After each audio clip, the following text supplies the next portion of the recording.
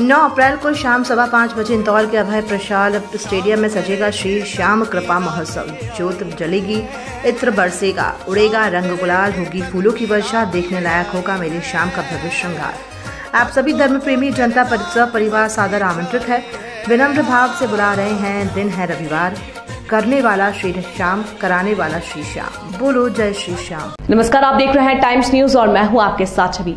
आइए नज़र डालते हैं कुछ खास खबरों पर। करीब 24 दिन से चल रही अनिश्चितकालीन हड़ताल। स्थानीय नेहरू चौक पर आशा उषा कार्यकर्ता अपनी मांगों को लेकर हड़ताल पर बैठी हुई हैं। उनका कहना है कि सरकार हमारी और कोई ध्यान नहीं दे रही है, जबकि हम सरकार के काम के लिए तत्पर रहते हैं। सरकार की योजनाओं में प्रमुख भूमिका निभाने वाली आशा उषा कार्यकर्ता अपनी मांगों को लेकर निरंतर सरकार से उम्मीद लगाकर बैठे हैं।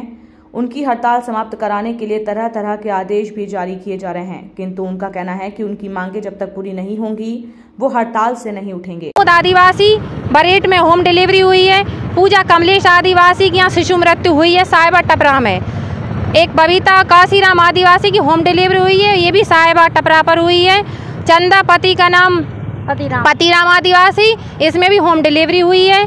और सपना माखन केवट इसमें शिशु मृत्यु हुई है और आज सियाबदा में एक मात्र मृत्यु हुई है जिसमें बच्चे को जन्म देते समय। विभाग से कोई जानकारी है विभाग से कोई जानकारी नहीं मिली है ना ही हम लोगों के लिए। अभी कोई उन्होंने कहा है कि कि ऐसा क्या आएगा?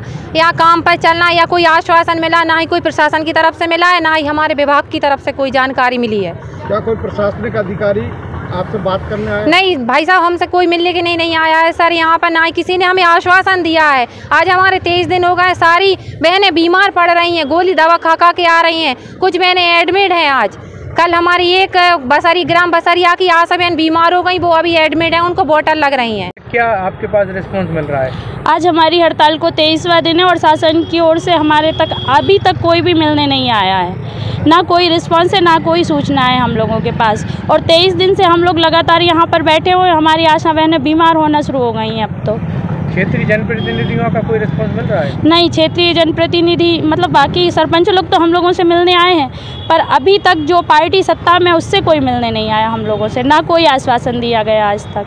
कब तक आप लोग बैठे रहेंगे? क्या जब तक हम लोगों की सुनवाई नहीं होगी तब तक बैठे रहेंगे हम लोग।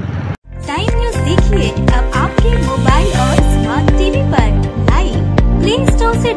డాక్టర్